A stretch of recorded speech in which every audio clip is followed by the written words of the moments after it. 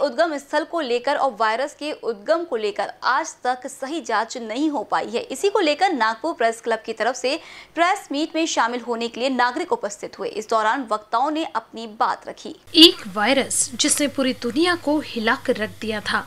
आम नागरिकों के मन में कोरोना वायरस को लेकर चिंताएँ बढ़ी थी। लोगों को जागरूक बनाने के लिए अखबार, सोशल मीडिया और टेलीविज़न का उपयोग किया जा रहा था। बच्चों से लेकर वयस्कों तक होने वाली चर्चाओं का केंद्र बिंदु कोरोना वायरस था। लेकिन ये तो वो तथ्य है जिसे हमें और आपको दिखाया गया। लेकिन इसके पीछे का असली कारण क्या है, ये जानना ज़रूरी है।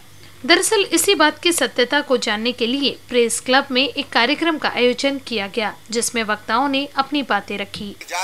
कुठल्याही पद्धतीचे सरकारी आदेश नसताना लिखितमध्ये कुठली ऑर्डर नाही. आणि तरी ज्या पद्धतीने कलेक्टर्स लोकांनी पोलीस लोकांनी ह्या ज्या पद्धतीत केलं याचाच अर्थ त्यांना पैसे दिले असतील आणि त्यांनी पैसे खाल्ले आहेत म्हणून त्यांनी हे चुकीचे ऑर्डर पास केले चुकीची कामं केलेली आहेत.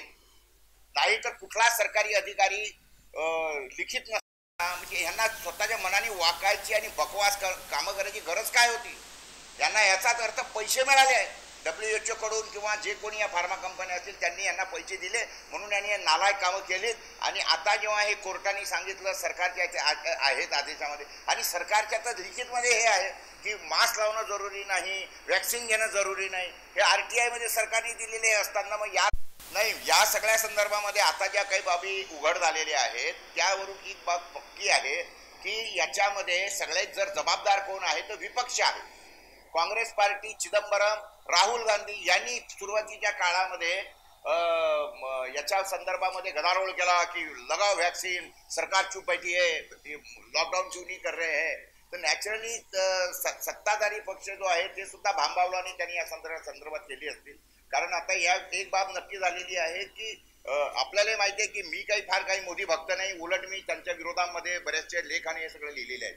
आणि मी काही कुठल्याच पक्षाचा नाही आहे. मी काही कांग्रेसचाही नाही आणि त्यांच्या विरोधी नाही भाजपचाही नाही आहे. गौरतलब रहे कि वायरस के मुद्दे को लेकर उन्होंने विपक्ष को भी आड़े हाथों लेकर उनकी कार्यप्रणाली पर सवाल उठाए। डर के मारे लोगों के मरने का आंकड़ा ज़्यादा था, न कि वायरस की वजह से।